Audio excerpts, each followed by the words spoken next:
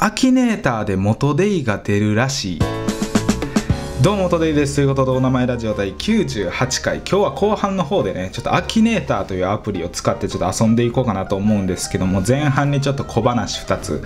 セール関係というかねセールに関する小話を2つ話していこうかなと思うんですけどもファミリーマートのねセール話なんですけど僕のね家から一番近いコンビニがファミリーマートで、まあ、本当はセブンとかに行きたいけどちょっと妥協でね、まあ、こんなんやったらファミマさんに申し訳ないですけど妥協してまあ仕方がないかということでね一番近いしということでファミリーマートさんにはすごいお世話によくね行くコンビニでお世話になってるんですけどもこの前ねファミリーマートに行った時にレジ横のねホットスナックコーナーみたいなのあるじゃないですか、まあ、チキンとかなんかあの焼き鳥とか中華まんとかいろいろ置いてるところに中華まんの棚があるじゃないですか。そこのね上に大きく看板看板じゃないですけどチラシでね中華まん100円セールドドンみたいなのがあったんですよ。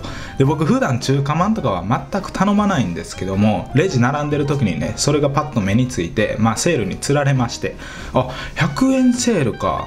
そしたらまあいつもあんま食べんけどちょっと、まあ、せっかく100円やし買ってみようかなと思ってよし中華まん買おうと思いながらレジ並んでたんですよね。でこれ先先にね正しい知識というか、まあ、当たり前の知識を言っとくんですけどもその中華まんセール100円セールっていうのは棚にある中華まん全て100円になりますよと。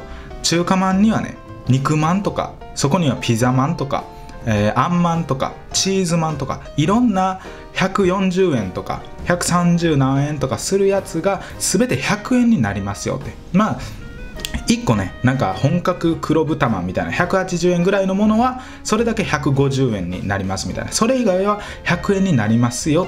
で好きなの選んでくださいね。100円にしますよっていうのが中華まんセールなんですよ。ていうか当たり前なんですよこれがね。でもねあの僕はね中華まんイコール本格肉まんっていうね130円ぐらいのファミリーマートの肉まんがあるんですけど中華まんイコールそれやと思ってたんですよ。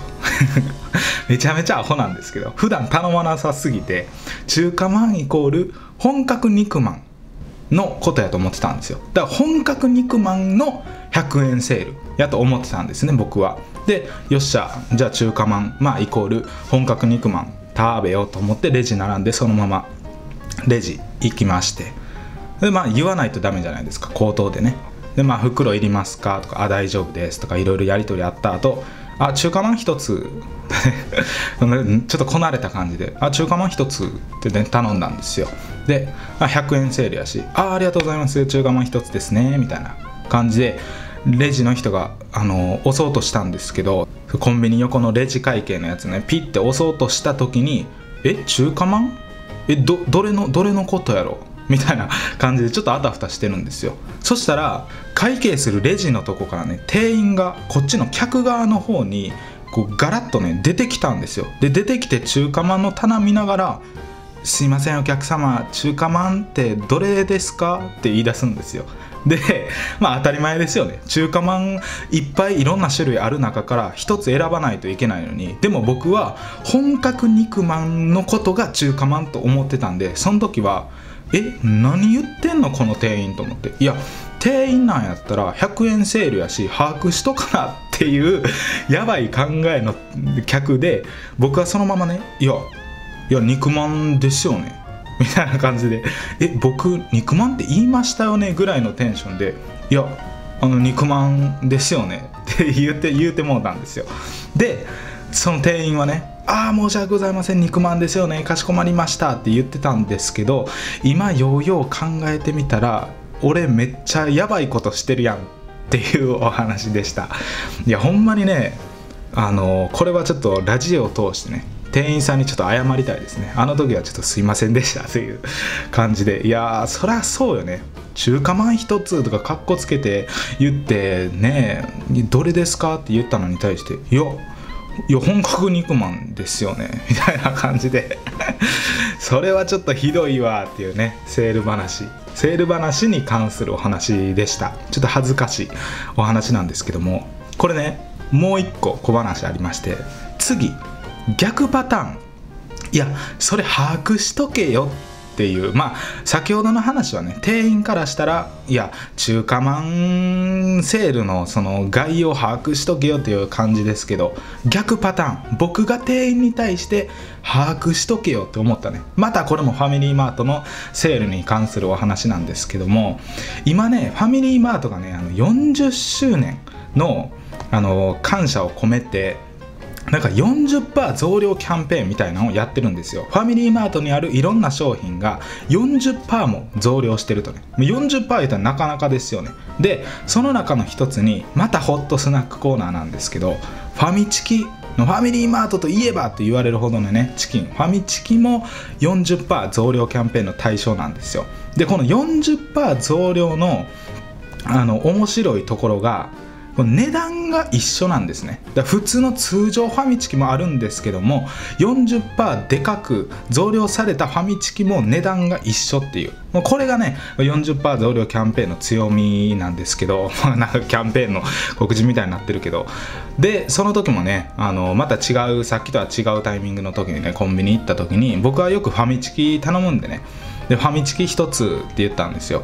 で、まあ、40%増量キャンペーンやってることは知ってたんですけどその時はね、まあ、ファミチキ1つって言っておばちゃん店員だったんですけど40%増量の方ですか？とか通常ですか？みたいな何も聞かれなかったんですよ。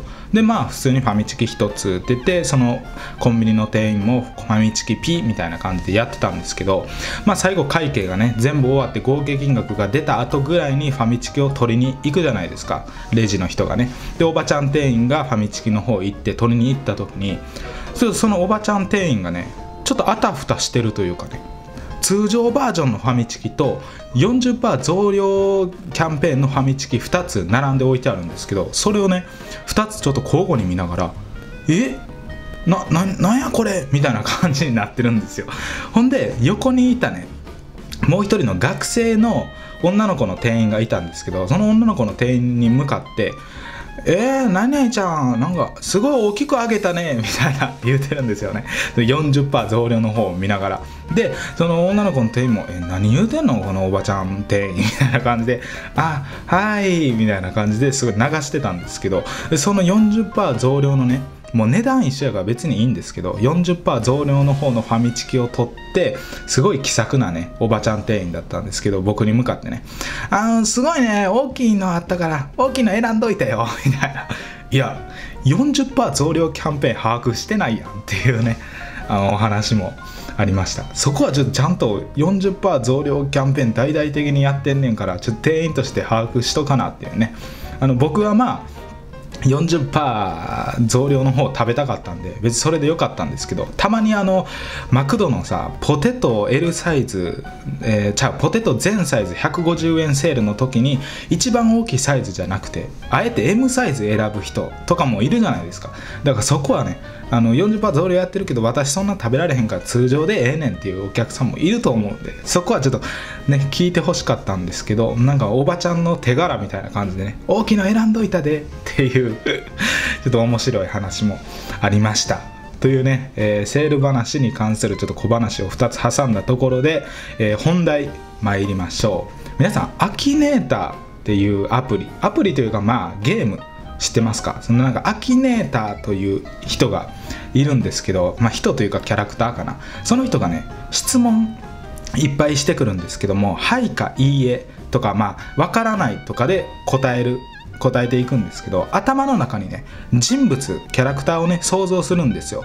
でその人物に合った回答を例えば男性ですかとかで僕を想像してたらはいとかね。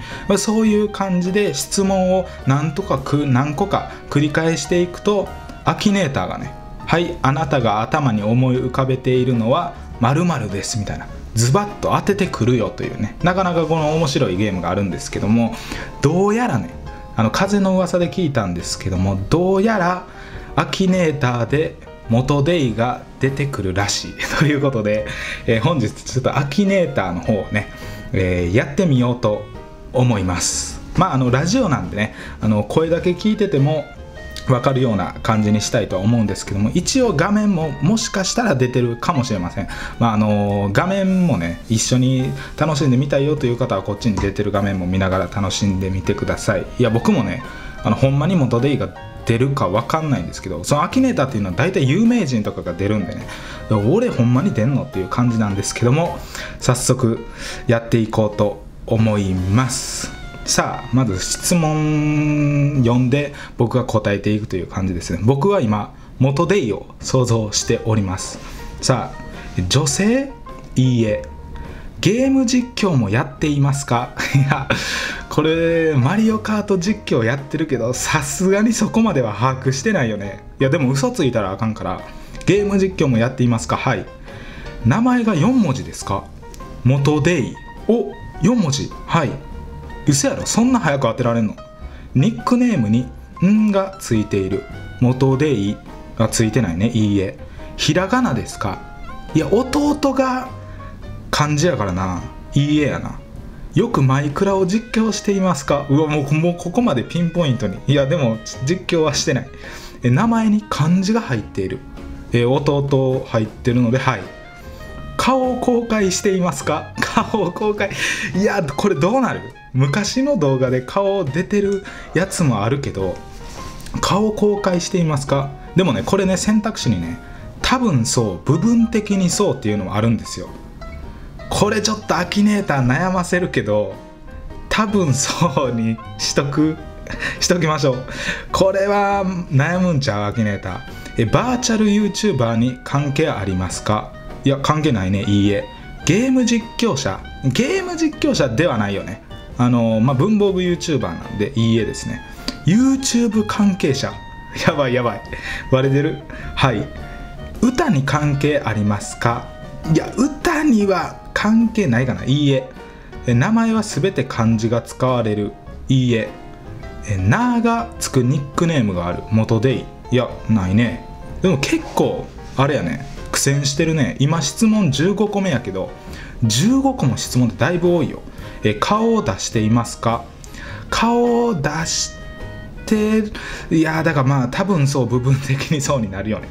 名前に小文字がありますか？いいえ。あだ名の頭文字は U いやもうなんで？いいえですね。頭文字が K で始まる。いいえ。ニックネームに「あ」がつきますか？つかないね。いいえ。ちょっとこれアキネーターちょっとやばいね。ほんまに出んの？元でいい。これ出えへんって幼稚嫌やで。え、ニックネームに「い」はつきますか？元でいい。お？はい。学校に通っている。もう僕大学生なんで、で、大学生ということも公言してるんで、これははいですね。タバコを吸う。タバコは吸わないですよ。いいえ。高校生。いや、大学生なんでいいえ。その人は二十歳以上ですか？まあ、二十歳なんで、はいですね。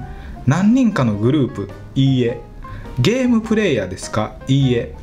名前は「い」いから始まりますかいいえ。ニックネームがカタカナいいえ。ニックネームに「も」がつきますか。これちょっとバレたか。でも質問29個も来てるからね。だいぶちょっと長いけど。はい。おうわーすげえ。思い浮かべているのはもともと TV もともと TV であれか登録されてるんか。文房具を紹介する YouTuber えー、でもすごい。アイコンまでちゃんと。あだから元デイでやってたけどもともと TV っていう名前で登録されてるからちょっともう一回ちょっと番外編でちょっともう一回元デイじゃなくてもともと TV でちょっとやってってみましょう。もうパパといきますね。え女性いいえ。ゲーム実況者いいえ。年齢は20代ですか？はい。何人かのグループいいえ。YouTuber はい。ひらがなですか？もともと TV だから TV が入ってるから違うね。名前に漢字が入ってる。いいえ。ニックネームは3文字。いいえ。ニックネームに「ん」が入っている。ニックネームはだから元デイでいいんよね。でもいいえ。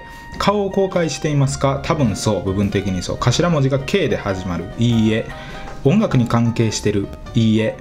名前に小文字が入りますか？いいえ。えー、名前が4文字ですか？でこれがだからどうなるんやろ？元デイもともと TV でももともと TV でやろうって言うてるから4文字ではないよね。いいえ。呼び名は2文字ですか？違うね。ニックネームは5文字。違うね。ニックネームが動物に関係している。違うね。ニックネームに「間」がつきますか「間」はつかへん。ニックネームに伸ばし棒がつきますか？つかへんね。完全に顔バレしていますか？完全にはまあ、知らん人もいるよね。だからまた部分的にそう。サングラスはしてない。ニックネームカタカナじゃない。フルネームアルファベットじゃない。学校に通っている。メガネをかけていない。父親登場しない。名前いいから始まらない。有名大学に進学している。でも大学名は公言してないからこれ分からないにしとこう。ニックネームに「も」がつきますか？またまた来た。わあやっぱ最後の質問はニックネームに「も」がつくかつかないかっていうあれなんやね。いやでも質問約30個ぐらいかかってたかな。まあでもアキネーターでちょっと元ではね。どうやらちゃんと出るらしいという検証結果でございました。まあもともと TV であの思い浮かべても元デイで思い浮かべても大体質問30個ぐらいでしたね。アキネーターってほんま早い時ね56個の質問でね当ててきたりするんでね。あのまあアキネーターね今日は元デイで出るということが分かったんであのもしねあの気になる人いれば アキネーターやってみてくださいというねアキネーターの告知もかましつつ今回はセール話に関する小話2つプラスどうやらアキネーターに元デイが出るらしいというので検証してみたというお名前ラジオ第98回でございました。